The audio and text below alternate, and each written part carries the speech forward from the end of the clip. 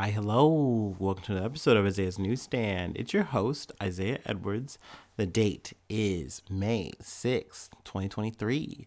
Hopefully, this episode finds you well, in good spirits, and high hopes. As for me, I'm doing pretty good, feeling pretty all right. Uh, overall, like I'm, I'm starting the day feeling like, oh, it's still in me, like whatever's, you know, still in my chest, still gunked up but then as I get operating, I feel a little bit better, and it's just like a bit of a tinge. It's just a little bit. Um, so, you know, hey, better than yesterday. I'll take it. Uh, as for the food corner, nothing to report as of yet. We're chilling. Maybe I might have a little snacky poo. I don't know. Have a you know have a meal, and we'll talk about that tomorrow probably. Um, so yeah, we can go ahead and just get into some news, get into the happenings. Um, from CNN, King Charles III and Queen Camilla are crowned. Oh, happy day. Oh, happy day. uh, King Charles III has been crowned during a majestic and deeply religious ceremony at Westminster Abbey in London. Um, so the royal family has been att- is you know, attending, um, you know, at least all the big ones, all the major big wigs. Um, even Prince Harry came. Um, but notably, his wife did not. Meghan. uh, her and you know the kids are staying at home uh, for reasons, whatever. Um, so you know there's a bit tea tea to sip there, I guess, whatever. But obviously, this whole ceremony is just a big kerfuffle. Um, I know a lot of people when this gets mentioned, they're like, "But like, isn't he already king?" And it's like, yeah, no, automatically. When the queen died, he immediately was like, "Boom, he's in power." But they have to have this whole ass little ceremony, you know, it's just so everybody remembers, right? So you know. And of course, they bring out all these fancy attire and all these jewels, and it's this whole fucking affair, literally into like the millions of dollars. Now, granted, um, they are saying, hey, we're scaling it back this year. We're reusing the king's gloves for his little sausage fingers. Um, you know, we're not pulling out all the jewels, just some of the jewels, we're keeping some up there. Granted, I'm like, yeah, so we don't show off all of the things you've stolen and like are now hoarding for your own personal wealth. Yeah, know, it's cool. Why don't you keep those on the shelf? Um, but they're they're they're doing their flex. They're they're having their moment. This is all you know to show like, hey, you know, this is a, a big pomp and circumstance, and like, don't you want to be a part of this fanfare and and I'm sure there are some people on the ground that totally love this. They're eating this up. They're having the time of their lives right now because that's that's what's happening this Saturday. Um, and and cool. I don't want to yuck anyone's yum. At the end of the day, if, if that's if this is what you're into, if you love fucking old world colonialism and like you just want to like yeah woo go pasty people y'all really rock i'm so happy you're alive then do that. That's cool. Um, to the people who are like obviously using this moment to like say, hey, I get the day off. I get like these bank holidays off. Like I'm gonna like have some drinks with my friends and hang out and do my thing. Like awesome, do that. That's that's the real win. Those are the real winners. Um, I guess to the royal family's point, to um, the government's point, because they are the ones footing this fucking, I guess, estimated $125 million bill at least that's from the CNBC. Now, granted, when I say the government, I really mean the taxpayers. So they're the ones paying the bill. Um, and, and that's the thing. I'm glad that I have friends that, you know, thank you via the internet, whatever, that I, I see in my, my feed leading up to this whole event today. And they're like, dude, this is so silly. This is so dumb.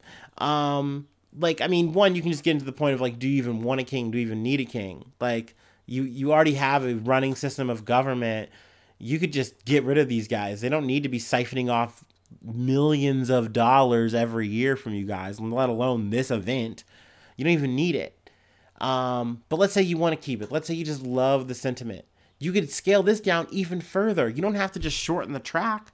Why don't you just make it like uh, a, like a little bit of a paper ceremony, something that just looks like what you guys are already doing with your government, or even like what we do, like because we have an inauguration. That's a flex for us. That's our I guess version but um, I don't know. They, they are estimated to have a lot of revenue generated from this, from which another thing as much as it, it, seems like maybe i'm clowning on you know the people who are like going dummy for king charles it's crazy to me that there are people who were like oh i'm gonna hop on a plane and i'm gonna go.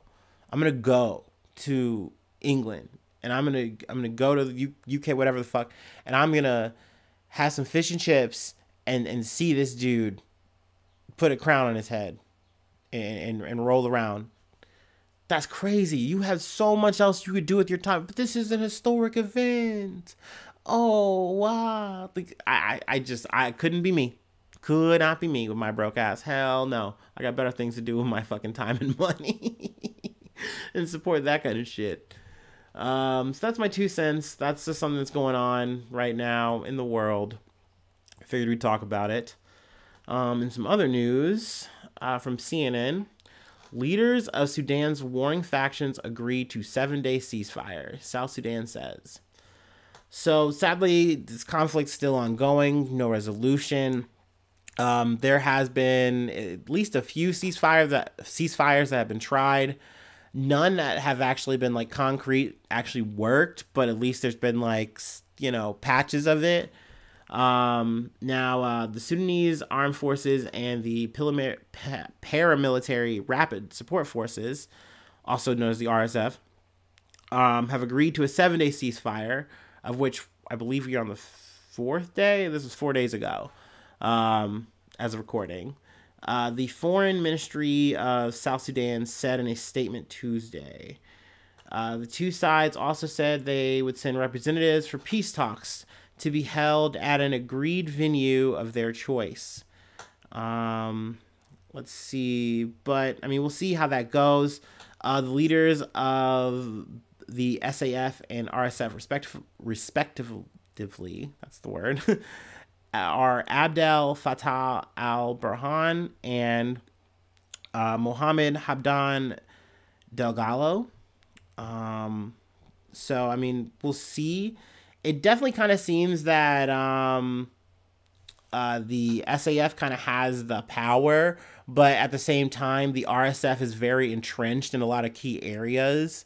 And sadly, they're just refusing to back down. And there's just a lot of ongoing fighting, and there's just all these civilians who are caught in the middle. Um, I think the last time we covered this on the pod, let's see, um, diplomatic officials had kind of out of the city but a lot of you know people from you know other countries were still left in Sudan and were kind of stuck. So uh, this kind of ceasefire was kind of good to potentially get more people out. But I mean, there's still just a lot of fear. I know that there's been some patrols, even with like armed drones and things of that nature, to protect, you know, people trying to get to and fro naturally trying to get in and out of the city is so risky. It's so hard to do. People are taking advantage of that and like cranking up the fares and doing the most with that in terms of like the the, the way to the paying to get out. So it's just it's really hard on a lot of people let alone the actual people who live in you know the sudanese people themselves you know not just people from other countries um, you know, saying, hey, like, you know, I've stuck it out this long and it's like now it's come to this, I gotta go, but you know, it's it's very hard. And you're in a situation with no power, no electricity, no food. Uh it's, it's rough on the families, it's rough on all these kind of people. You don't know if you're going out to get food, that's the last time you're gonna see your family or, you know, whatever. Even if it is you just saying, Okay, let's go, let's leave, you don't know if you're gonna make it. So you know, hard times, scary shit. Um, let's see, what else did I want to cover here? Let's move on to the states. Uh, from the Associated Press. Um, man killed three, then self in rural Georgia town. Excuse me. A man recorded by a security camera fatally shooting his manager Thursday at a fast food restaurant in rural South Georgia is also suspected of killing his mother and grandmother at their nearby homes uh, before taking his own life, authorities said. Um, the security footage showed um, a 26 year old Kentavis White, who was the shooter. Um, he shot um, his manager, after asking her to come to the door, uh, the manager was Amita. I'm sorry, Amia. Amia Smith, 41 years old. Um, she thought he was coming in to work for the day, so she unlocks the door, let him in. He shoots her, and then um, walks in and just shoots himself. Um, let's see. The two others were were his um. Let's see here his 50 year old mother and 74 year old grandmother who were like uh, next door neighbors um, or at least they lived nearby of each other. And he shot them earlier in the morning. Um, and the police were called but i believe they didn't at least i think they might have been called around 1 but then they didn't get there till 6 a.m and this takes place on thursday. But um they you know immediately came and got the bodies and then you know everything unfolds at the mcdonald's. But um it's not sure exactly what the motive is um but i believe he shot each victim multiple times. Uh let's see here. But yeah i mean it's it's a it's a sad state of affairs. Uh, i know i cover a lot of fucking shootings um, a lot of fucking violence and you know it, it's sad that that's kind of the news. But i you know I, I, do try to you know add some levity when i can. Um but sometimes there's just not much you can really do. And it's not like the last story i'm going to be giving you guys is much brighter. It's not brighter at all. Um it's just a difference of uh weapons, really. Um, all right, let me take my break. I'm already in the weeds anyway.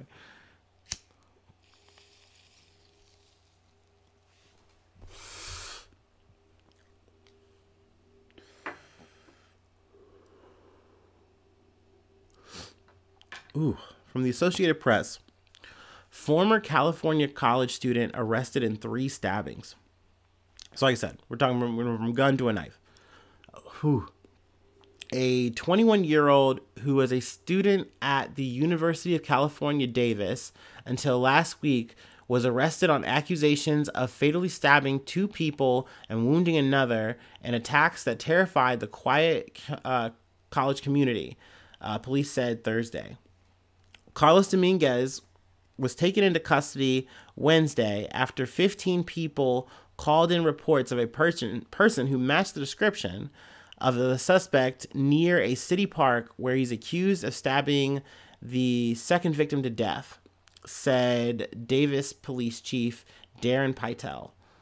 Uh, Pytel did not disclose a motive for the stabbings, which took place over a span of days, starting with the discovery of the first body April 27th, and said it was unclear if Dominguez knew the victims.